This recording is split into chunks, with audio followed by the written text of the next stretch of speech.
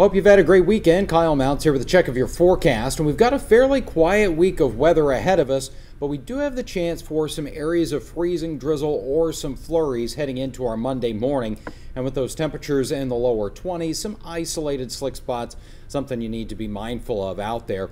Again, not much moisture as this cold front works its way through, but I think we will stick with the clouds for much of the day, just a few peeks of sunshine here or there.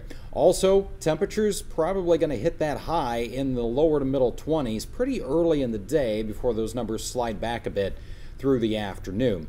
And that brings in even colder air for Tuesday morning. We are back down into the single digits. We'll kind of see some back and forth of temperatures as we go through the week. Highs will get into the lower 40s here on Wednesday, knock back a little bit on Thursday, and our best chance for a little wet weather, some rain and or snow showers Friday and a high temperature of 40 degrees.